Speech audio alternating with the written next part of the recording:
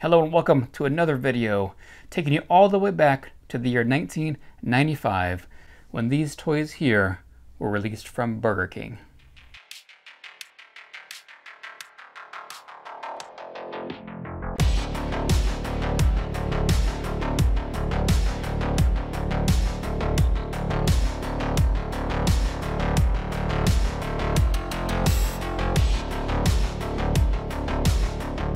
I thought I would honor one of the best movie franchises of all time because they just released Toy Story 4 on Blu-ray, which if you haven't seen it, honestly, when it first was announced that it was coming out, I really did not want to see it because I thought Toy Story 3 was perfect. I thought I had a perfect ending and everything, but Toy Story 4 is a movie that I loved and I never knew I really needed. So to honor that, I am bringing you guys the Burger King toys that I remember buying when I was 15 years old when this movie first came out. So going back to 1995, I remember a group of us guys from high school went to go see the movie, but before we did, we stopped by Burger King and got this very toy right here. This is actually the Woody doll that I bought when I was 15. As you can see, if you look at it, he's missing some fingers. I think he got chewed on by an animal over the years but this is my actual toy for when I was 15 years old. And, you know, 15 is kind of old, I think, to have toys. And I remember some of the guys were like, dude, why are you buying that toy? And I was like, I don't care. This movie is going to be great. It looks amazing. And I'm glad I bought it because this is one of my favorite toys from when I was, I guess, a kid. You know, 15 is not kind of a kid. So the first thing I want to show you is the actual kids meal cup that was released in 1995. There it is right there. Show you. So that's what you would have gotten if you would have ordered a kid's meal from Burger King back in 1995. I also have the bag that was released in 95 as well. So that's what you would have gotten your meal in. Wonder if it still has that smell. Nope. It smells like paper. Got the actual items you received inside of the meal itself.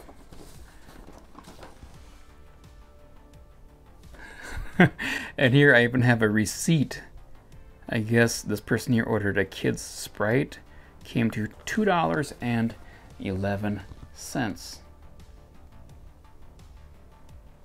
Here's a little pamphlet you would have gotten with your meal.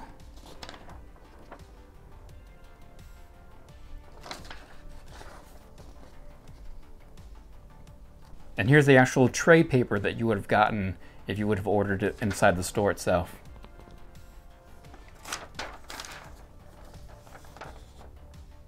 I've even got the container that holds the kids' meal fries right there. And one more thing, this thing I'm really excited about because what is the number one thing that you think of when you think of Burger King, when, when you're a kid at least? The crowns that you can get. And I actually have the crown that came in 1995. Let's see if I can even figure this thing out. Yeah, it doesn't fit my head. All right, so onto the toys. I think you pay like a dollar or maybe two dollars more to get these upgraded toys. First one I'm gonna open up is Hamm. One of my favorite characters, Hamm. Let's go and open him up.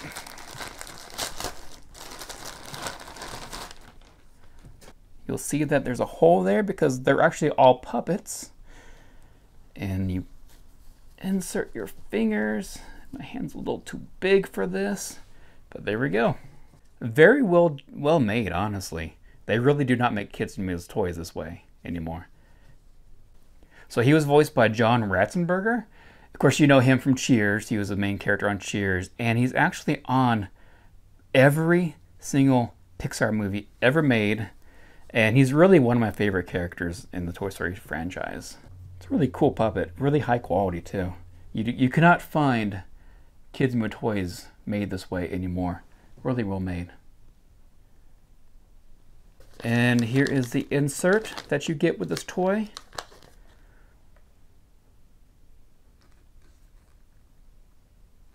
And the next one I want to open up is seriously another one of my favorites from the Toy Story franchise. We have Rex, voiced by Wallace Shawn.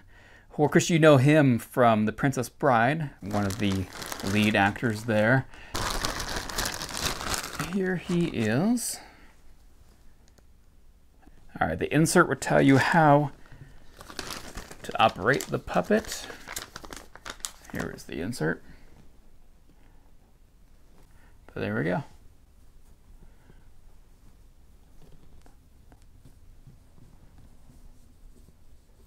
Before I open up the next one, I want to tell you guys about our Patreon campaign going on. Starting at only two bucks a month, you can get your name back here at the end of every one of these unboxing videos. And it really does help us out because operating show where you unbox old retro toys is not cheap. I mean, I have to buy these toys, usually on eBay or convention or something. They're not cheap. And so if you want to keep seeing more of these episodes, please consider donating to our Patreon campaign. It really will help us out quite a bit, honestly. And also remember, to check out my podcast called Saturday Morning Rewind. I interview voice actors. We talk about retro video games and retro cartoons from the 80s and 90s. I think you guys will really, really enjoy it. I've had some major voice actors on the podcast that, that haven't really been heard anywhere else in the podcast world. So go check that out. Saturday Morning Rewind.com. You'll find the Patreon campaign and the podcast right there. All right, so next we have Buzz Lightyear himself. Of course, voiced by Tim Allen, who I loved on Home Improvement in the 90s.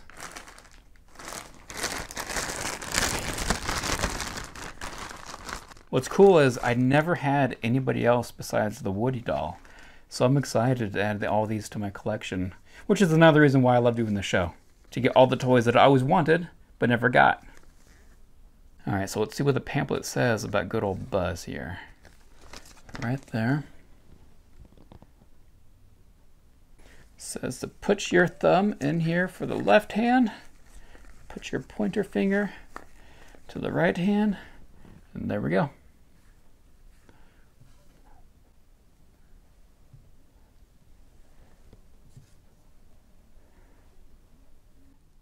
Man, I kind of regret not having this one as a kid because I really do love Buzz. I mean, this looks better than the toys they released for Toy Story 4 at Walmart. So last, but definitely not least, we have Woody. Of course, voiced by Tom Hanks himself, who I don't. He's done so many amazing things. I it's hard to pinpoint a favorite movie that he's been in.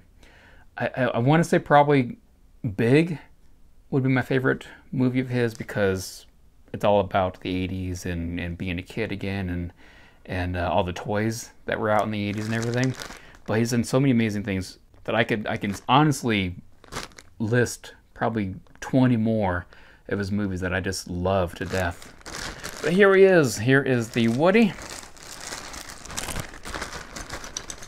Yep, definitely looks a lot better than the one I owned.